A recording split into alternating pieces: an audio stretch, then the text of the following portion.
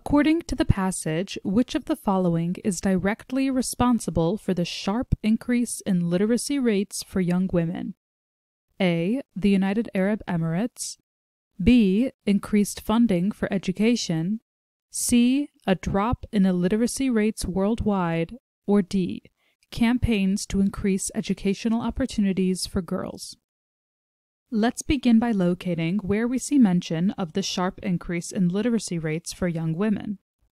We see this in the second sentence, which tells us the main reason for this decline is the sharp increase in the literacy rates of young women, which is the result of campaigns to increase educational opportunities for girls because the sentence tells us clearly that the increase in literacy rates is a result of the campaigns to increase educational opportunities for girls, in other words, these campaigns are the reason for the increase in women's literacy, we can head down to our choices and mark D, campaigns to increase educational opportunities for girls, as our final answer.